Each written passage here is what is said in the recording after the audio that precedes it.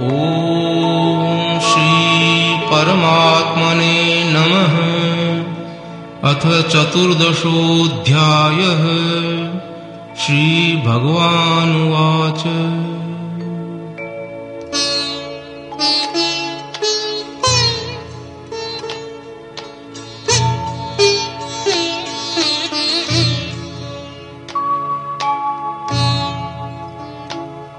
यज्ञात्वा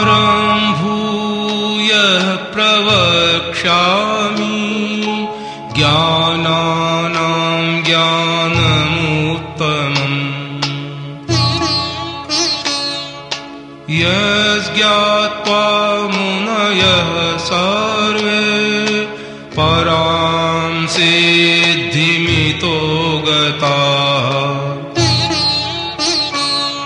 इदं ज्ञानमुपाश्रित्य मम साधर्म्यमागता।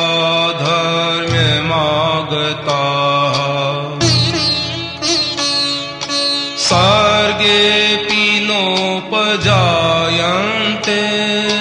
प्रलये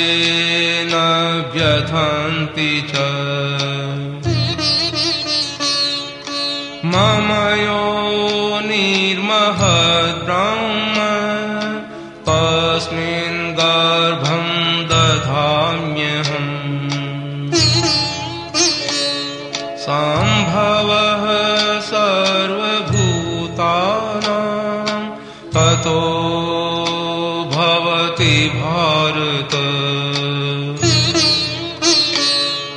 सर्वयोनिषु कान्तेय मूर्तयः सम्भवन्ति याः।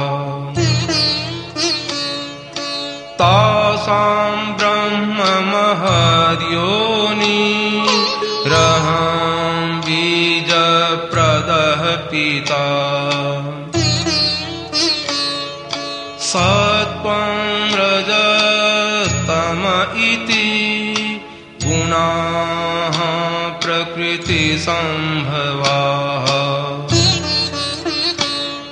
निबाधन्ति महाबाहो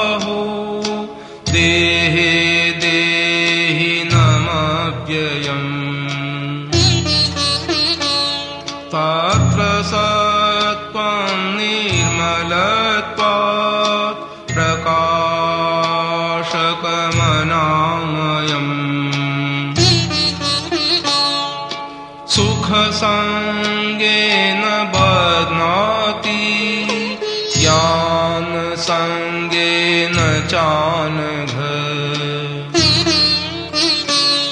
रजोरागात्मकं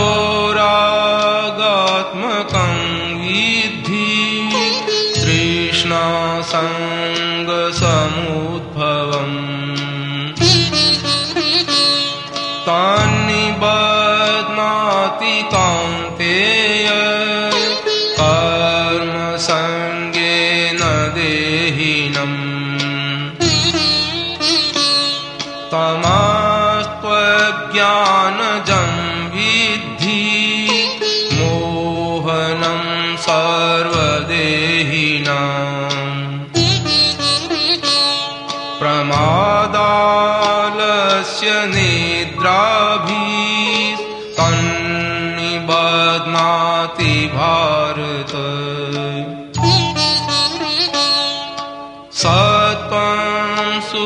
सञ्जयति। रजः कर्मणि भारत। ज्ञानमावृत्य तु तमः। प्रमादे सञ्जयत्युत रजस्तमश्चाभिभूय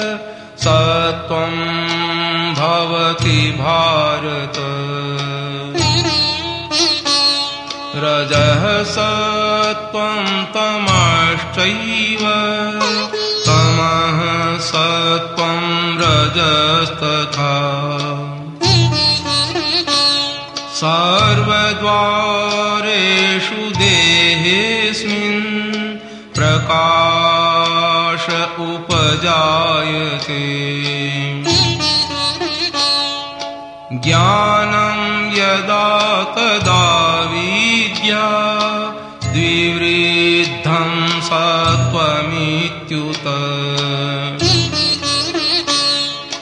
लोभः प्रवृत्तिरारम्भ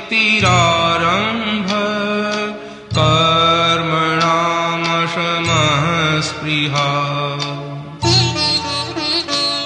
रजस्येतानि जायन्ते विवृद्धे भरतर्षभ। अप्रकाशो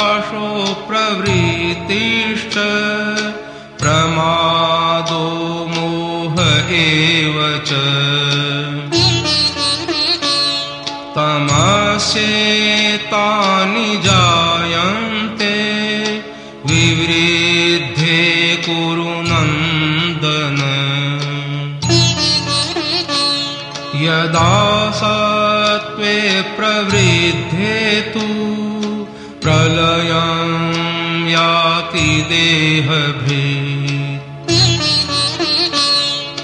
तदोत्तमविदा लोका नमलां प्रतिपद्यते रजसि प्रलयं गत्वा कर्मसङ्गिषु जायते। तथा प्रलीनस्तमसि मूढयो निषु जायते। कर्मणः सुकृतस्याहु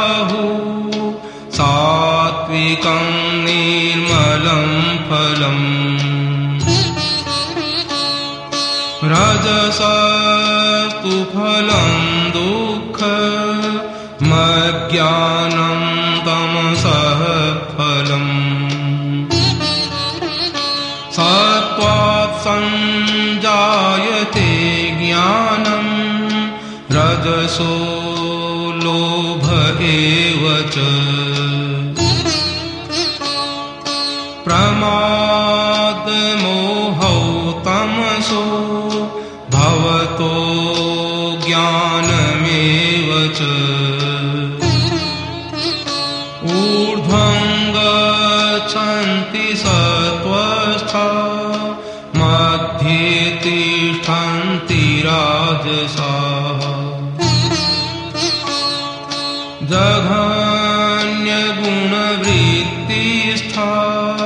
अधो गच्छन्ति तामसा।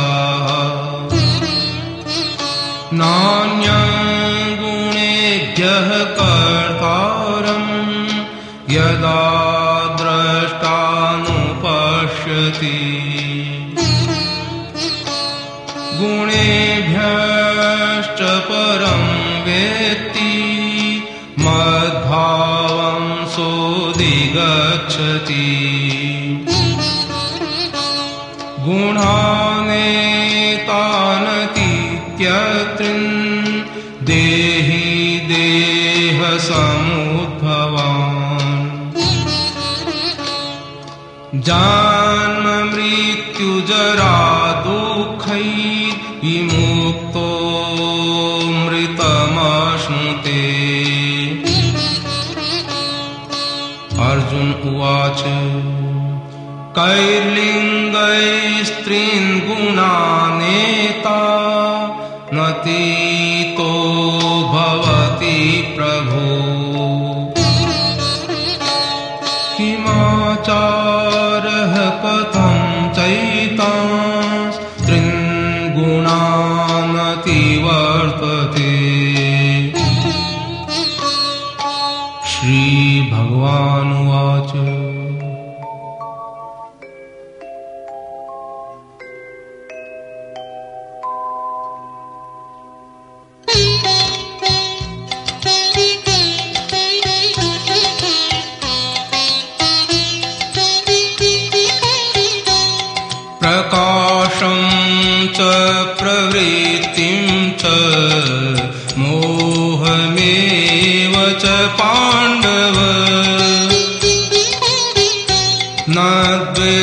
द्वेष्टि सम्प्रवृत्तानि न निवृत्तानि काङ्क्षति। उदासीनवदासीनो गुणैयो न विचाल्यते। गुणावर्तान्त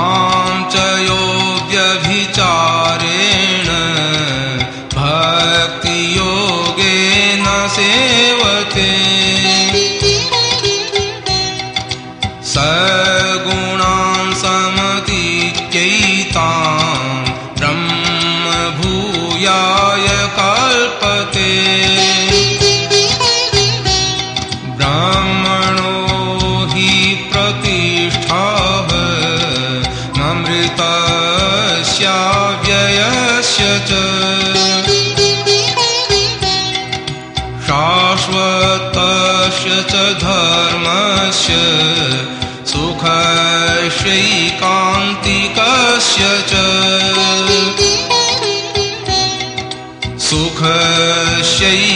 सुखस्यैकान्तिकस्य च ॐ तत्सत् श्रीमद्भगवद्गीता सुपनिषत्सु ब्रह्मविद्यायां योगशास्त्रे श्रीकृष्णार्जुनसंवादे गुणत्रयविभागयोगो नाम चतुर्दशः